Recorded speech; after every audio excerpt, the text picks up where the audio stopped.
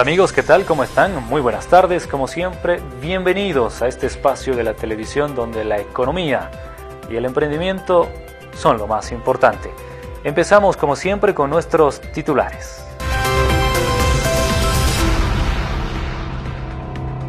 Anuncian que la inflación no reducirá el crecimiento proyectado del país en la gestión 2013 comienza la socialización de los nuevos precios del seguro obligatorio contra accidentes de tránsito. En el sector Econociendo le proponemos otro término que nos ayudará a comprender más y mejor la economía. Y también conoceremos un emprendimiento donde el arte se constituye en el principal protagonista. Quédese con nosotros porque enseguida le contamos los detalles.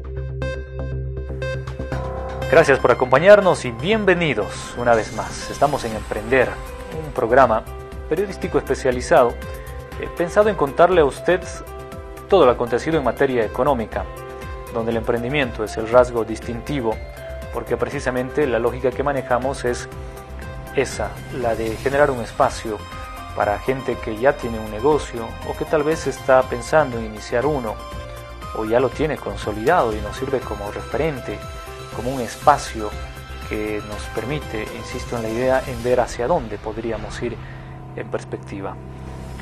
Y en esa idea también hemos generado diferentes sectores en el programa. Uno de ellos es soluciones. El objetivo es contarle a usted de manera muy sencilla acerca de temas que le pueden ser útiles. Eh, lo que le voy a proponer hoy, por ejemplo, es exportación. Vamos a conocer qué es exportación, cuáles son las principales características y de esa manera, y se lo digo de manera muy modesta, queremos estar cumpliendo alguna labor, alguna digo porque realmente son tantas, en lo que nos corresponde, pues queremos estar contribuyendo un poco a esto que se llama emprendimiento. Permítame ir a este espacio.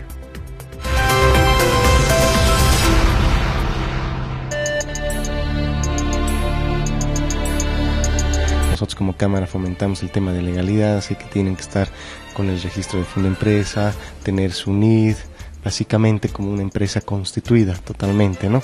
Después de que se haya formado como empresa constituida, ya los requisitos propios de exportación van enfocados a, cumplir ciertos eh, documentos, por ejemplo, la factura comercial de exportación, que es muy diferente a la factura interna, después de presentar la lista de empaque, la declaración única de exportación que le llamamos el DUE, y bueno, estos son los requisitos generales.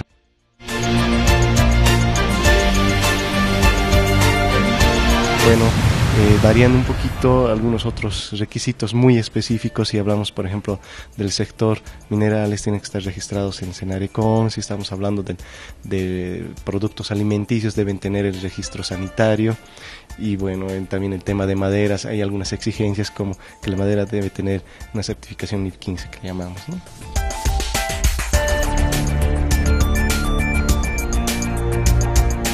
El empresario primero define dónde quiere llevar el producto, a qué país quiere direccionar este producto. Una vez identificado eh, el destino, entonces se procede con todo lo que le había mencionado. ¿no? nosotros como Cámara de Exportadores tenemos un servicio totalmente eh, direccionado al apoyo a las empresas para que puedan realizar todos sus trámites acá. se los realizamos desde la factura, de la lista de empaque, la póliza, el certificado, todo el todos los trámites. No es un requisito estar eh, indispensable afiliado a la Cámara, pero casi el 90% de las empresas lo hacen por el tema de los servicios que brindamos en este aspecto. La Cámara eh, cuenta con eh, diversas capacitaciones, es así que también estamos con proyectos internacionales de apoyo en el que nosotros eh, apoyamos, por ejemplo, eh, la próxima semana, entre el 19 y 20, hay una capacitación que está direccionada al sector madera dentro de un programa que venimos trabajando hace cuatro o tres años, tres a cuatro años, con el Centro de Promoción de Importaciones en Desarrollo, que es el de Holanda. Entonces van a venir a capacitar en lo que es calidad, por ejemplo, ¿no?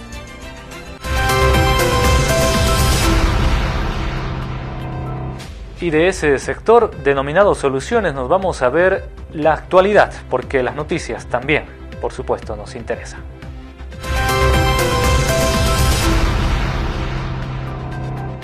Hablando de información, destaca un dato que lega desde la ciudad de La Paz y la Confederación de Empresarios Privados de Bolivia ha iniciado una serie de declaraciones indicando que la inflación acumulada del 5.6% al tercer trimestre de este año no es un indicador de que el crecimiento económico disminuirá.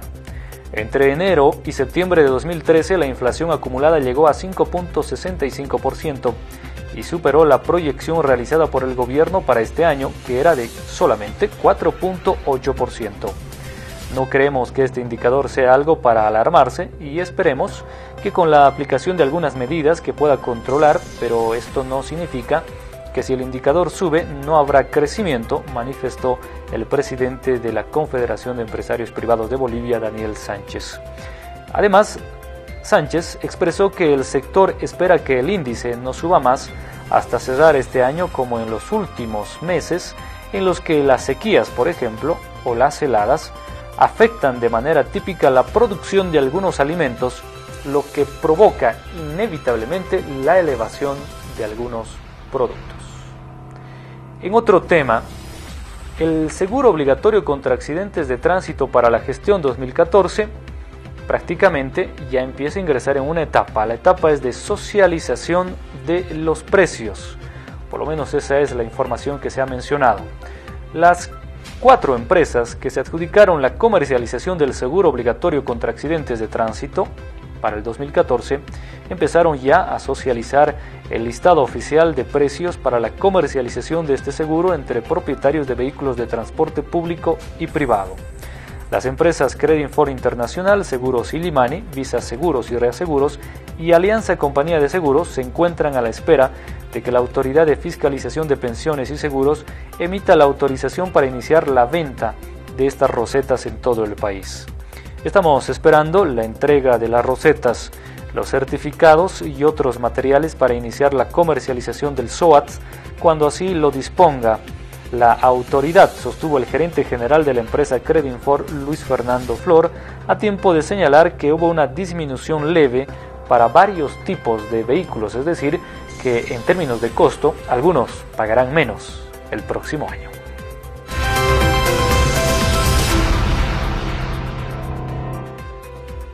Continuamos en el programa, estamos en Emprender y ahora dirigimos nuestra atención a un espacio de análisis, es también habitual este espacio que se genera en este programa. Eh, vamos a identificar qué es lo que significa exactamente el crecimiento poblacional, insisto, en términos de análisis.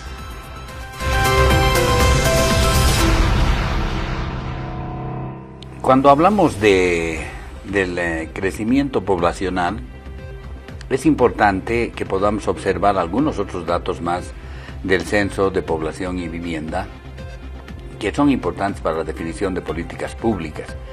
Eh, si bien hay algunos datos vinculados con el tema del registro de carnet de identidad, el tema de identidad eh, de la población, de, la, de otros datos más, llama la atención la pirámide que presenta la, el nuevo registro del Censo Nacional de, de, Vivienda, sobre todo por grupos quinquenales de, de, edad comparados con el año 2001 y el 2012. Y se está dando un cambio en la estructura de edad eh, de la población en el periodo intercensal entre el 2001 y el 2012, sobre todo por la disminución de la proporción de la población de menores de 15 años. Eso significa que hay un proceso de envejecimiento en la población boliviana debido a, múltiples factores. Puede ser por un tema de disminución de la mortalidad en el país, que eso no se daba en la década de los 50, 60, con mayor control de natalidad y además eh, por mejores condiciones de salud que está modificando esta estructura piramidal. Esto significa también que hay que modificar las políticas de salud eh, a futuro porque vamos a encontrarnos con una población de mayor edad. También esto tiene sus propias implicaciones para pensar un poco cómo trabajar con poblaciones más adultas. ¿no? La reducción de población joven también tiene sus implicaciones, no hay que olvidarse que eh, la base de una, de una economía joven radica en su población menor a los 15 años y habrá que ver, hacer el seguimiento en el próximo censo, en los próximos 10 años, qué está pasando con esta población joven, si va a seguir creciendo. Seguramente, dadas las características de crecimiento, es posible que se recupere esta población joven, eh, dadas la, la propia potencialidad que tiene el país y las propias condiciones que, económicas que se puedan dar a futuro.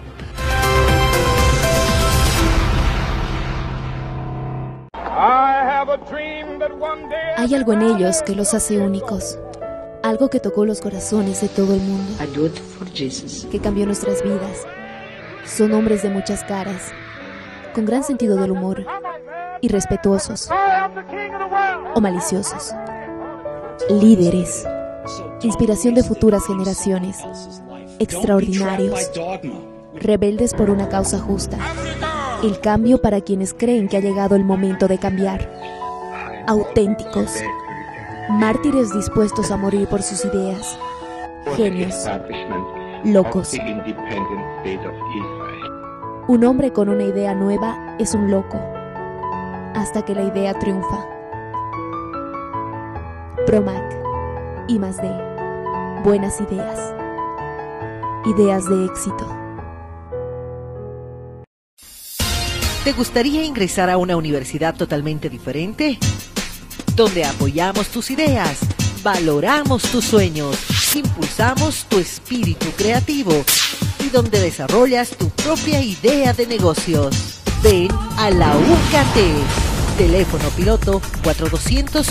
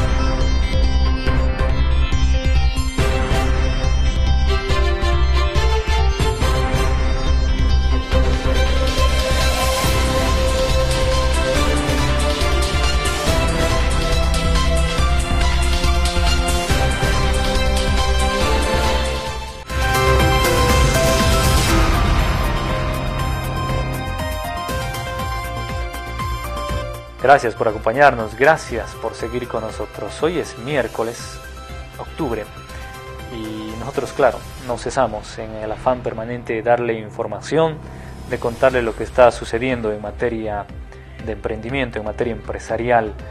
Eh, sin embargo, también reservamos este espacio para que conozcamos algunos elementos que hacen en su conjunto la economía. Por eso es que voy a presentarles ahora el sector y conociendo, con un término que puede tener varias aplicaciones, pero claro, hoy lo vamos a conocer desde la perspectiva exclusivamente económica. Cartera es el término que le proponemos.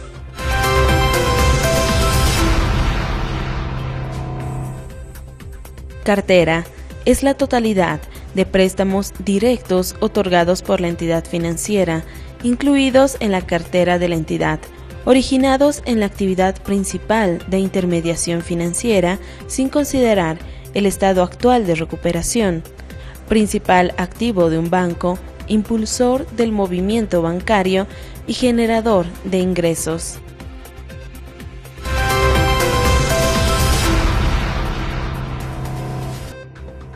Muy bien, y seguimos en el programa. Vamos a contarle ahora algo que tiene que ver con emprendimiento, por supuesto, un poco la esencia de este programa. Eh, le voy a contar un emprendimiento que tiene que ver con arte, porque supone, por ejemplo, la transformación de una materia prima muy, muy valorable, muy preciosa, diríamos, en diferentes accesorios, artículos que son apreciados, altamente apreciados por las personas.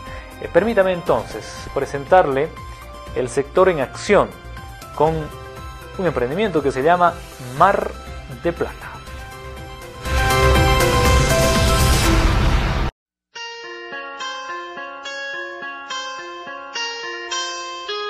Desde tiempos inmemoriales, la realeza era investida con finos trajes y costosas joyas, todo esto como símbolo de belleza creada por la mano del hombre.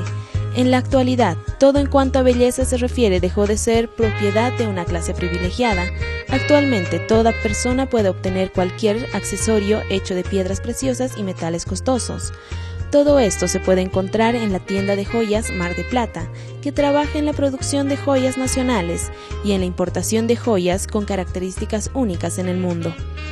Siendo una de las pioneras en el negocio de las joyas de plata, Margarita Pérez decidió apostar por la ampliación de su pequeño negocio, que en sus inicios se encontraba en la esquina San Martín y Jordán. ¿Cómo inició Mar de Plata? Eso ya fue más o menos hace unos 10 o 12 años exactamente. Eh, la dueña, que es la señora Margarita Pérez, eh, como le comentaba hace un momento, lo que quiso es ofrecer eh, un producto más que todavía no era conocido, que era la, la, platería, ¿no? las joyas de plata. Esos años era muy conocido el golfing, el oro 14 que se vendía por eh, catálogos, etcétera, y había mucho surtido. Pero ya después eh, Margarita vio que era bueno ofrecer a la clientela algo que todavía no era muy conocido.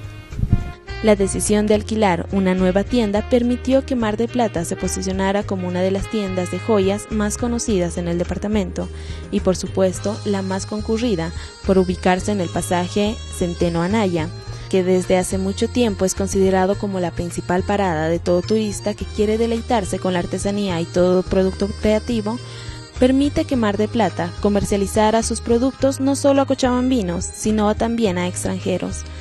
De esta manera es que Margarita Pérez, gerente propietaria de Mar de Plata, en 10 años hizo de su tienda de joyas un lugar hermoso y acogedor, pero sobre todo un lugar donde la gente pueda disfrutar de la belleza de joyas y gozar del asesoramiento necesario para poder obtenerlas. Ofrecemos eh, eh, platería en general, ofrecemos platería nacional, ofrecemos platería latinoamericana, ofrecemos eh, platería mexicana e italiana.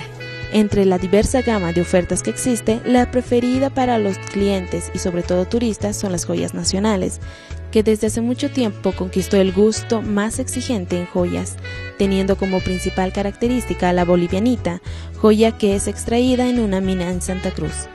Todos los diseños en joyas nacionales son elaborados por la propietaria del lugar, Margarita Pérez, ofreciendo de esta manera productos netamente nacionales y exclusivos para el gusto del cliente.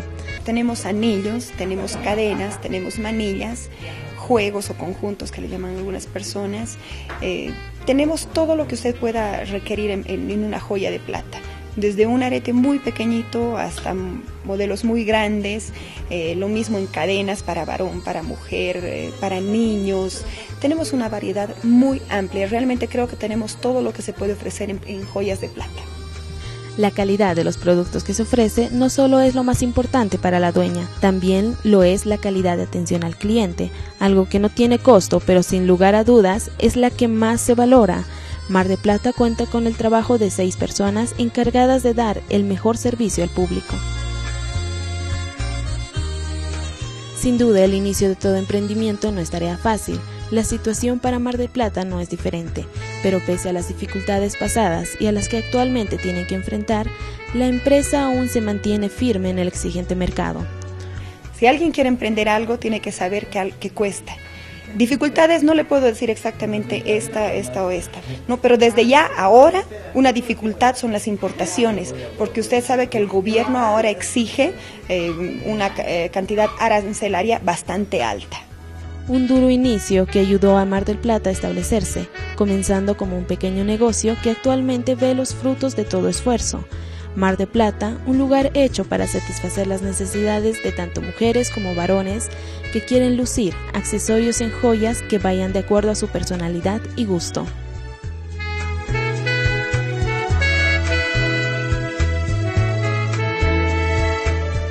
Si bien tenemos eh, para muchas personas una tienda muy elegante, muy cómoda y en pleno centro de la ciudad, le aseguro que tenemos el producto para todo bolsillo.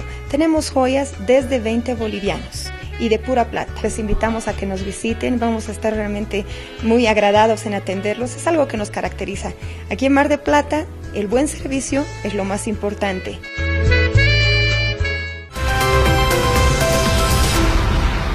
Y de esa manera, amigos, gentiles televidentes, hemos llegado al final de este programa. Como siempre, quiero agradecerle la preferencia que tiene con nosotros, invitarle de manera muy cordial para que pueda hacernos llegar sus comentarios, sus inquietudes y además, eh, si usted es un emprendedor, tiene un negocio que quiere que la gente lo conozca o tal vez tiene una idea y quiere también que la gente sepa sobre esta idea, Comuníquese con nosotros, nos dará mucho gusto contar su historia, su idea. Este espacio está totalmente abierto precisamente a gente como usted, a gente inquieta, a gente emprendedora. Amigos, gracias, de verdad. Si usted desea ver este programa una vez más, lo puede hacer. Nuestro sitio web oficial está disponible, www.zonarealbolivia.com. Muy buenas tardes. Permiso.